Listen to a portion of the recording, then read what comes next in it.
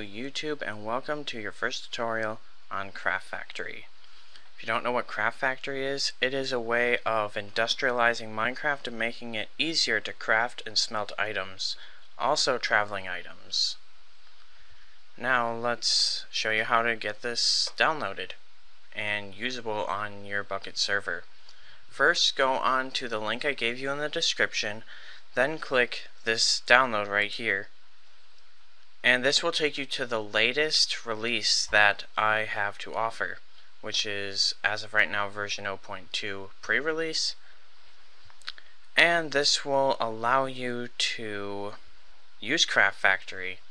Just place the jar file in your plugins folder, and you'll be all set. Now let's get to the real stuff, the Minecraft. And so let me get out of that. Let me set this to day so it's easier to see. Alright. Obviously it's raining. There we go. Now it should be all better. Okay, so to create a factory is which, which I'm going to show you how to make today. You're going to need a couple items. You're going to need wood, which you don't actually need it it's just the simplest item to use to hang up your signs, which you do need signs. You need a crafting table, a chest, you need some redstone and something to power up your redstone. So I believe that is it for now. Yeah, that's it.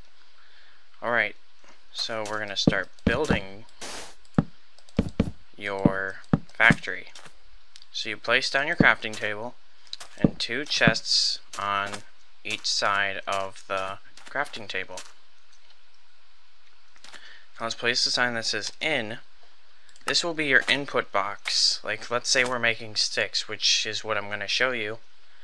You're going to place your planks here and sticks will come out here your input and output.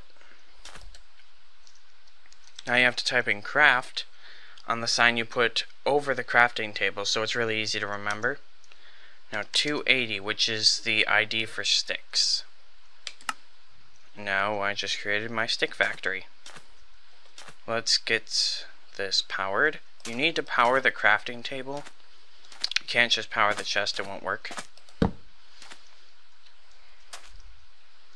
Alright, let's get some more planks, that's called. Put that in there, and it's to do something magical and end out with your sticks. This is pretty useful if you just want to make some stuff on the fly. It gets really useful if you start linking factories together. Like, let's say you want to start just put in logs into a chest and you want to end with doors. That can be done very simply with linking factories. And this is how it's done. And you can link a whole bunch of factories together by just doing this. But we're only going to be linking two, just to demonstrate what you can do with this. You also have to make sure both crafting tables are powered. Let's create the first factory, which is going to be planks. Alright. Now this input sign will not change this factory's input to this. It's not going to do anything with this factory at all. Alright, let's make doors. Let's see if I think it's that. I am not sure. 24. I was close. Right.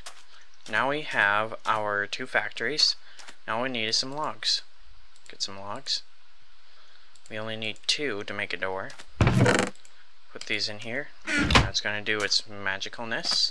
And come out with one door. We still have some leftover goodies from our logs. Now this is quite useful if you want to make some items on the fly. And with the other stuff I'm going to show you in the other tutorials, it also becomes really useful when you fit everything together. So, thanks for watching and hope you find this really useful.